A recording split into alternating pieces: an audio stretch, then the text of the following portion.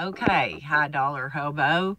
This is a video of the screenshot of what my channel looks like. See, I don't have all that stuff up there.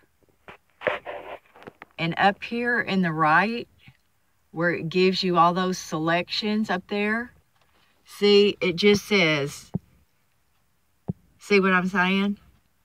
I don't know. This is not like anybody else's channel that I've ever seen before. It just isn't. So it's set up wrong. Now, do you see what I mean? Thank you.